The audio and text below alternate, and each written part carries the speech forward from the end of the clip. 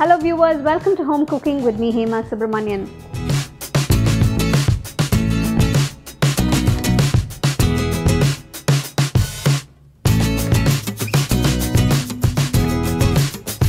People who enjoy eating eggs usually look for different varieties to make at home.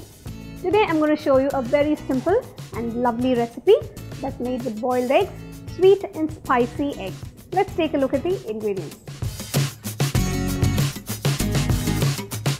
Take a nice uh, white pan, add a little oil to that, about a tablespoon, add some garlic, ginger teaspoon, the red chilies you can add it as a whole or if you like the nice spicy flavor you can break it into half and add it. It's going to give you that lovely spicy. Add the spring onions add the capsicum the stalk of the spring onions you can see I'm sauteing it. I'm getting a lovely aroma of the, of the spice, the red chili. Now you add all the sauces one by one. First the soy sauce. Reduce the flame. You don't want to burn it. The chili sauce. Tomato ketchup.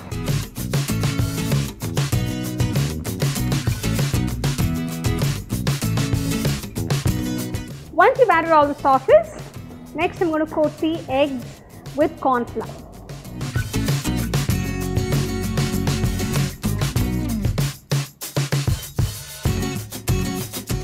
The eggs you can see they are uh, slightly coated uh, with corn flour. I'm going to gently place them. So if you want to make something different, you can try this with eggs instead of making like an egg fry or you know egg masala.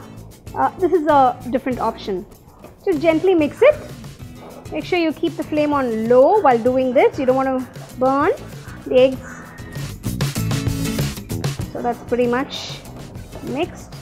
You can check for seasoning. You can add a little salt if you like at this point. Just to add a little salt, just a pinch. Looking at this dish, I'm sure many of you definitely want a bite of that. To finish it off, I'm just going to drizzle a little honey.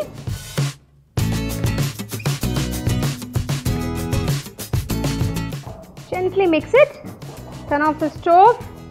Your sweet and spicy eggs are ready to be served. I'm definitely going to take a break after this and have a piece of that egg. So if you're looking for an egg dish or an egg recipe that you want to make something different with, try this, the sweet and spicy egg.